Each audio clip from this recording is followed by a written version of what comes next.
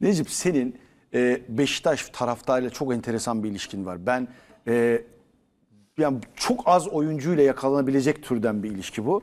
E, sanki tribünde kapalıda yanımızda oturan kardeşimiz kalkmış gitmiş sahada oynuyormuş gibi bir duygu var herkeste. Biraz fazla böyle Necip şey yaptığı zaman oyuna asıldığı zaman tribünde oyuna asılmaya. Necip böyle birazcık böyle şey olduğu zaman yürüyüşü değiştiği zaman herkesin agresyonu artıyor. Abi sen o duyguyu nasıl yakaladın tam olarak? Çok merak ediyorum. Ya abi zaten ben eee Ertuğrul Sağlam'da çıktım yukarıya. Kaçıncı senen bu arada Necip? Eee, 2008'den başladım abi. Ya aslında 2007'de eee, idmanlara çıkıyordum. 2008-2009 sezonundan beri Beşiktaş'tayım. Yani 15 sene oldu. Maşallah. Yani ilk oynadığım zaman da beni zaten taraftar sahaya atmıştı. Zaten ilk oradan geliyor. Tabii Mustafa Hoca'nın ikinci ilk sezonunda şampiyon olduğumuz sezon e, çifte kupayla.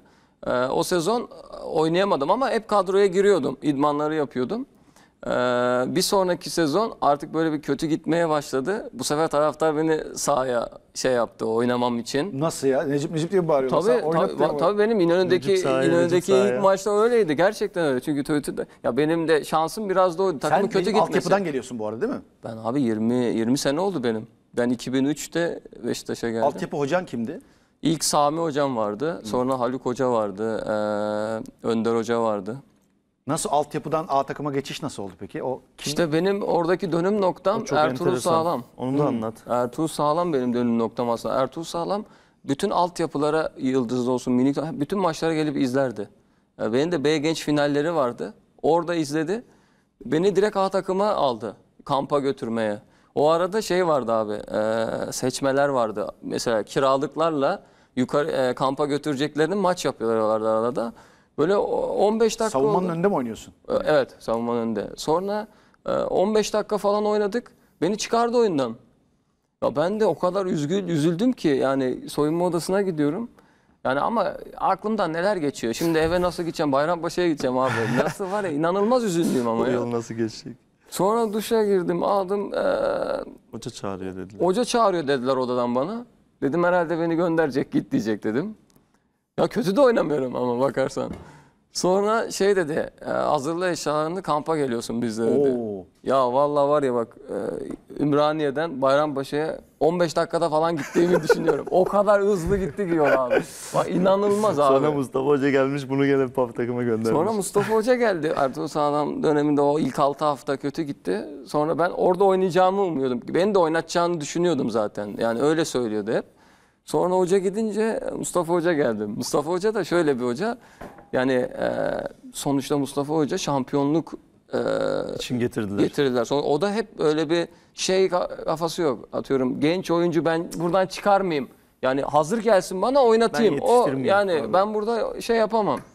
Neyse bütün gençleri aşağı indirdi Mustafa Hoca. Ben de o ara PAF takımında oynuyorum. İyi de oynuyorum. O ara beni de e, Oğuz Hoca takip ediyor. Oğuz Çetin. PAF O arada milli takıma e, o arada e, Fatih Hoca gitti. Oğuz Hoca aldı milli takımı. Beni de A takım A milli takıma çağıracak şeyleri çıktı. E, çağıracak gibi oldu. Sonra beni yine A takıma aldılar. Ondan sonra Mustafa Hoca. Ondan sonra Mustafa Hoca oynattı beni.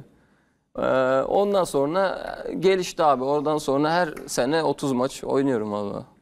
Çok da iyi oynuyorsun. E, Necip sen şey demişsin, ihtiyaç olursa bir gün kaleye bile geçerim demişsin. Geçer misin gerçekten? Geçerim Şenol abi. Hoca dedi ki sana Necip bugün kalecilerimizin hepsi sakat. Sıra sen. Geçeriz abi. Ben Hiç var mı geçmem. kariyerde kalecilik? Yok yok abi. Ama bir şey oldu mu tabii geçeriz ya. Ne, Ne olacak? 5 kere değişiklik yapmışsındır. Son Abi dakika şey kırmızı Ya olmaz mı olur ya? Hep abi, hep. Beşiktaş'ı bulur zaten. O da bulur yani. geçmedi. Geçmedim abi. Geçeriz. Panku bir forvet oynamadık ya. Forvet oynamadın mı? Ya altyapıda forvet oynuyordum. Zaten minik takımda falan oralarda forvet oynuyordum da üstüne oynamadık abi. Bir gün düşündüler biliyor musun? Hangi maçtı o? Ee, Gökhan Töre oynadı hatırlıyor musun? Bursa Kayseri. maçı. Yok, Şey, Kayseri Sergen maçı. Hoca'nın Ser- şey oldu maç, Kayseri şampiyonluk maçı, serisindeki Kayseri. maç, doğru. Vallahi düşünüyorlardı. Atiba'yı mı oynatalım Necip'i mi forvet? Vallahi bak sonra Gökhan Töre forvet oynadı. 3-1 falan kazandık herhalde tam hatırlamıyorsam. Ya 4-1 ya 3-1. Ne dedi? Sana bu söylendi mi? Öyle bir ihtimal var. Düşünülüyordu abi orada. E ne dedin İdmanlarla falan. Oynarım abi Oynar nasıl mı demiş. Niye Adam oynamıyorum? kaleci bile diyor. Oynar, Forvet mi forvet oynamayacağız mı abi? Gençliğinde oynamış kardeşim. Doğru bizim Tayfur geliyor aklıma ya. Onun açıklamaları var ya. Beni forvet oynatsalar en az 20 tane. Şey 20 gole katkı sağlarım diyor. Necip en sevdiğin yer neresi oynamayı? Abi en sevdiğim yer e, tabii ki orta saha. Ee, ama e, bu bu son dönemlerde aslında stoperde daha iyi hissediyorum kendimi. Ama Hmm. hocaya sorsak her yerde oynuyor diyor. Hocam mesela neye göre karar veriyor senin nerede oynayacağını acaba? Çok merak ediyorum. Karar vermiyor. Vallahi Nerede yer vermiyor. varsa- Nerede Bir- yer bir varsa bölge diyor. boşalıyor gir diyor. Vallahi hiç şey Böyle var mı böyle maç içinde hocayla böyle hani gir oyna dediği ve seninle böyle bir enteresan bir arada diyalog geçtiği bir an. Yo hoca hep giriyor. Ya hoca mesela sana bir gün dese ki Ya "Mecnun- hoca geçen oldu ya. Ya hangi maça giriyordum? Ee, Antalya maçıydı herhalde. Ya son dakika alacak bizi oyuna. Konuşuyor hoca bir şeyler Adana. Şuraya yok yok şey ya Antalya oradaki maç. Şöyle şöyle ya hocam dedim maç bitiyor zaten dedim. alacaksan al. Hayır ne anlatıyorsun dedim maç. Maça giremeyeceğiz. Maç bitiyor. Maça giremeyeceğiz dedim. Döndü bana gülüyor. ya dedim hocam bırak maça giriyoruz. iki dakika kalmış. Ne anlatıyorsun dedim. Dedi Orada ki- halen taktik işte yan topta hoca bunu seviyor. alacaksın. Hoca bak hocaya sen dikkat et. Gol atıyoruz ya. Hoca hayatta böyle bir nadir maçlarda sevinir. Normalde hemen 3-5 kişi yanına çağırıyor. Hemen onu böyle yapacağım bunu. Onun için bir Dur bir şans hocam abi. sevinelim mi? Yok hiç sevmedi. Onun için bir şans orada. İki dakika hemen taktik verecek orada Tabii çünkü. gol attık hemen yanına çağırıyor şöyle şöyle. Yok Cenk- ama gerçekten Necip'in yaptığı iş kolay bir iş değil abi. Hiç değil. Çünkü şöyle düşün. Ee, ilk 11 oynadığı zaman iyi performans gösteriyor. Hoca diyor ki gel otur diyor. Ee, 3-4 maç mesela oynamıyor. Sonra biri sakatlanıyor. Hoca bunu gene ateşe atıyor. Her zaman hazır olman lazım. Her zaman iyi oynaman lazım. En küçük e, misal mesela Fenerbahçe maçında. 10 kişi kalmışsın. Ee, rakip önde. Necip oyuna girdi. Belki sahanın en iyisiydi. Ee, o yüzden hani her zaman kendini hazır tutmak gerçekten Ya kolay bir şey abi, değil. her zaman- Müthiş Necip performansları müthiş var. İnanılmaz. Tutuyorum abi ben o yüzden değil. Ben oynamasam da her zaman e, kendimi hazır tutuyorum. Çünkü tutmak zorundasın abi. Yoksa e, buralarda kalamazsın, edemezsin yani. Sana bir gün şey yapmıştım ya ben. Bir, bir taraftar grubu şey yazmıştı. İyi günde siz Kuarejma'yı, Taliska'yı yanınızda istersiniz ama kötü günde bir tek? Necip Uysal olur yanınızda diye. Cenazenize Necip Cenazenize. Necip Cenazenize bir tek Necip Uysal gelir diye. Sıkıntı yok güzel yere Ben bunu Necip'e attım. Bana diyor ki gideriz abi sıkıntı yok cenazeye de gideriz diye. Ama gider gerçekten yani Vallahi kardeşim benim. Vallahi abi yani şöyle diyeyim sana. Sonuçta bu bizim işimiz. Ee, oynama dedin. Ya tabii ki insan her zaman oynamak istiyor. Herkes oynamak istiyor.